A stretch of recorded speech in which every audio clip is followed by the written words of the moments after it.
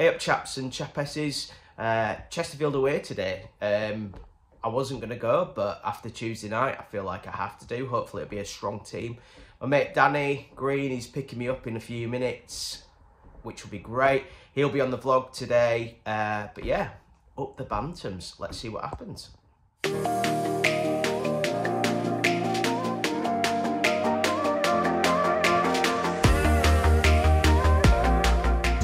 David. We're in the car. We say hello, boys. Dirty Leeds fan there. Danny's driving us.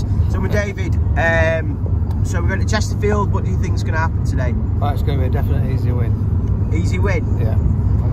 It's good. More, more minutes on the legs, easy win. Easy win, and I think like it, it sounds like uh, Mark Hughes is going to play a, a full strength team today. So I'm might- hoping so. Yeah, Yeah. it looks like maybe we'll know what the first team looks like because at the moment we ain't got a clue, have we? No, it's- we've got that bigger squad. Versatile, isn't it? We- We don't know what we're going to see. Here I am. Danny's driven us down to Chesterfield. We are going to the Glassworks pub. Um, what's your thoughts for this season? Oh, I'm pretty positive to be honest. I think it's going to be a good season. Then again, I think every City fan is uh, pretty positive. Uh, but yeah, I I think we'll. I think we'll be definitely top seven playoffs, uh, and then I think we can go for the top three with the squad depth we've got. So yeah, I think there's a good buzz around the club at the moment, isn't there? That- I mean, Yeah. I know we have this every year, but I feel like there's something different this year. Do you feel the same? yeah, definitely. Yeah, I think it's. I think getting Mark Hughes in and having such such a big figure like that around the club, I think it just makes a difference. Uh, I think there's a lot of positivity, but we need to win games pretty early to keep the positivity certainly. Otherwise, it can get quite sour sometimes, can't it? But, True. Yeah. True. So let's see what happens, and uh, I'll take more in depth, and we'll see what goes on. Mind my hair; it's terrible. because it's some fights.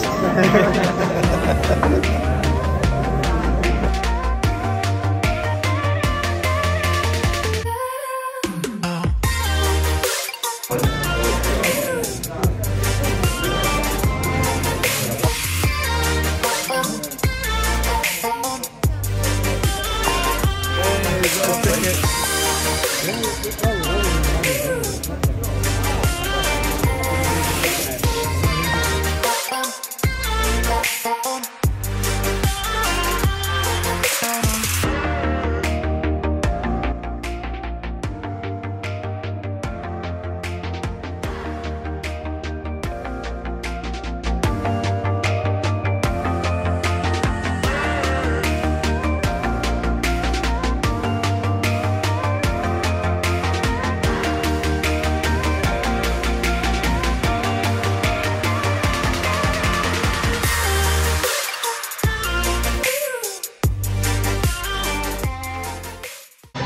Jonathan before the game starts. Um, what's your predictions for this season?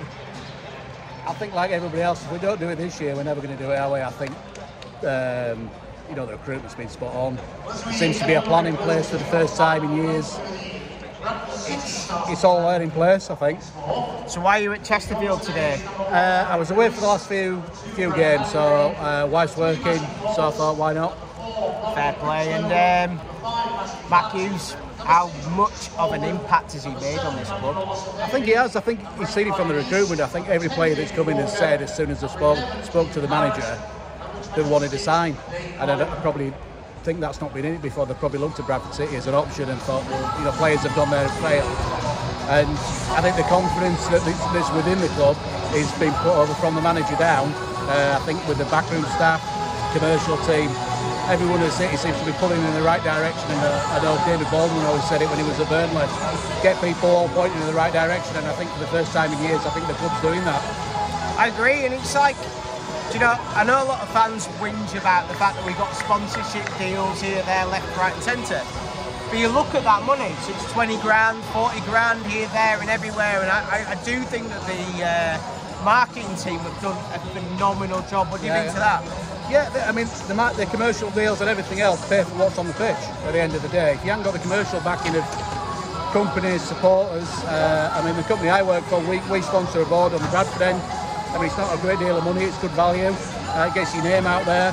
But, you know, that ends up playing part of a player's wage. And if, you know, come January when we may need an extra player to get us over the line for whatever reason, whether it's injuries or somebody's just not performing, you know, it's these commercial deals that they get with the likes of JCT 600 and Morrison's and everyone else that gets puts money in the coffers and helps keep, more importantly, keep football affordable in Bradford for the fans. To start the game. Um, yeah, it looks very strong 11. Let's see what happens. Um, up the city.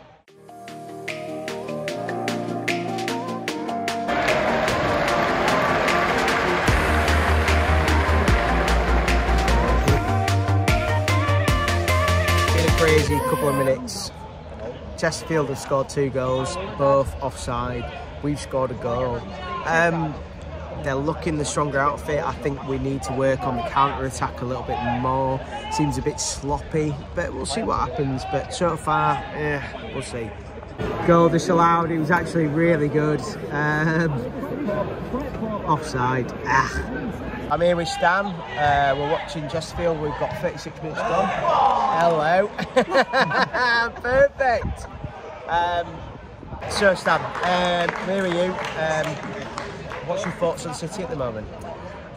so optimistic for the uh, the season ahead. Um, you know, it's just in almost every department. I think we're better than we were last year, and um, I think Hughes has got a plan. Um, you know, providing he stays around, I think he wants to, to take us up the leagues, definitely. Yeah, it's, it's a difficult one. I mean, I, th- I personally for me, I think Hughes is probably going to only be here for one to two years. Do you think the same? Or do you think he's going to finish the project? Which project for me would be championship? Yeah, I, I'd, I'd agree. Sort of. Um, I mean, I'd be happy to for us to get established back in the, at least League One anyway. Um, and yeah, there's always going to be bigger fish coming in. Uh, you know, sort of taking the manager, but you know, maybe if he sees the progress that's happening, he might, like I say, stick around till the championship at least. So, um, you know, and, and, the squad will evolve uh, definitely. I think, um, you know, off the field, the the actual recruitment's been so much more professional, um, and yeah, it's just going in for me the right direction, definitely. So, what do you think so far of the game? We're 37 minutes in. What do you thought so far? Uh, whether it's the sort of come down from sort of Sunderland um, or whether it's like it's good to actually just keep his feet on the ground a little bit. But Chesterfield do look a good side. Um, I, I, would imagine that they've um, been a side that's been around for a little while, so they just maybe one or two additions that kind of is out, you know, in, in that sense. But I think um, potentially as well, it's a sort of game that you know we see the character of the side. If we're under pressure, then can we get something out of the game? At least a draw, definitely. Fingers crossed. Yep. Um, it's been a bit sloppy so far. I think it's fair to say. Sloppy is a good word. Yeah. Let's let's see. By the way, Stan was the guy. If you listen to the. Sorry, free kick for City. Um, Stan was the guy who talked about um, the cold shower treatment on the mental health thing. So, um, been having a chat with him. If anyone wants to know any more information, we'll get in touch. So, thank you very much, mate. Thank you. Cheers.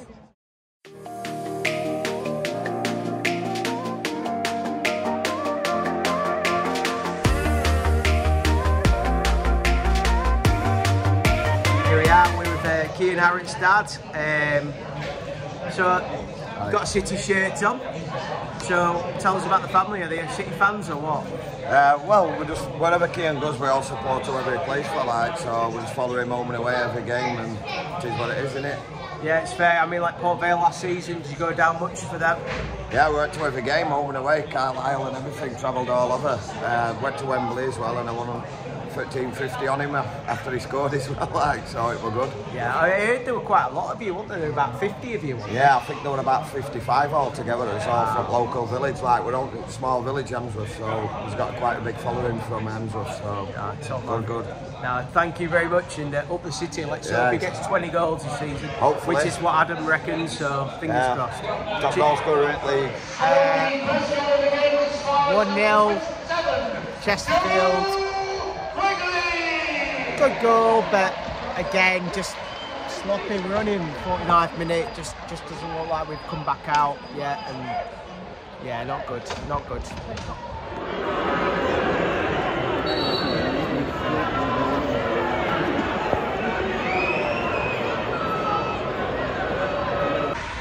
Two 0 Poor, really poor.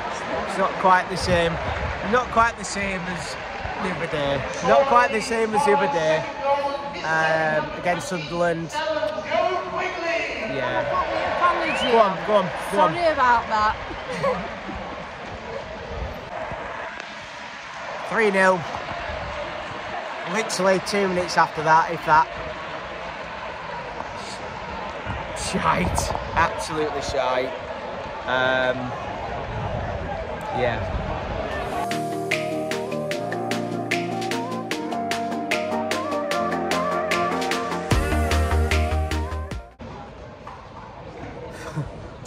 Disappointing after Tuesday night. Um, it's just not worked today at all. We've been run ragged by a